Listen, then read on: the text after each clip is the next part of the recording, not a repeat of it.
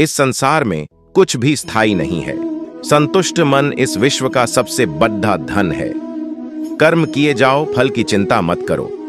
भगवान प्रत्येक वस्तु में, प्रत्येक जीव में मौजूद है। आत्मा अमर है, इसलिए मरने की चिंता मत करो। आत्मा का अंतिम लक्ष्य परमात्मा में मिल जाना होता है। या इंसान नहीं, उसका मन किसी का दोस्त या दुश्मन होता है। बड़प्पन वह गुण है जो पद से नहीं, संस्कारों से प्राप्त होता है। व्यक्ति या जीव का कर्म ही उसके भाग्य का निर्माण करता है।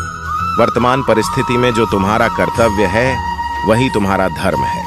क्या मन बहुत चंचल है, जो इंसान के दिल में उथल पुथल कर देता है। जब वे अपने कार्य में आनंद खोज लेते हैं, तब वे पूर्णता प्राप्त करते हैं। प्रबुद्ध व्यक्ति के लिए गंदगी का ढेर पत्थर और सोना सभी समान है।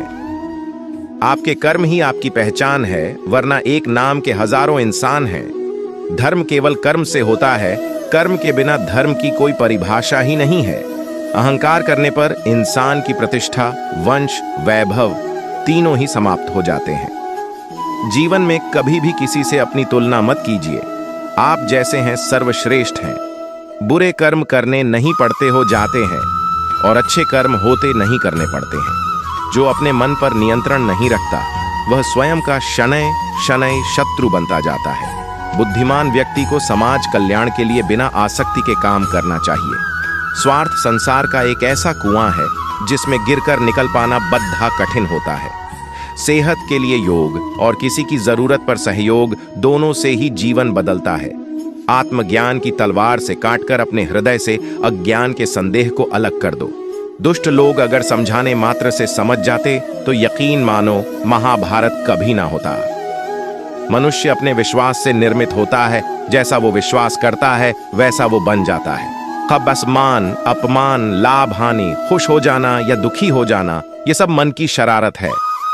जिसे तुम अपना समझकर मग्न हो रहे हो, बस यही प्रसन्नता तुम्हारे दुखों का कारण है। उस इंसान का मंजिल से भटक जाना तय है, जिसकी संगत में नकारात्मक लोग रहते हैं। प्रेम सदैव माफ़ी मांगना पसंद करता है और अहंकार सदैव माफ़ी सुनना पसंद करता है। भगवान श्री सर्च कृष्ण के विचार। सिर्फ़ दिखावे के लिए अच्छा मत बनो मैं आपको बाहर से नहीं बल्कि भीतर से जानता हूँ।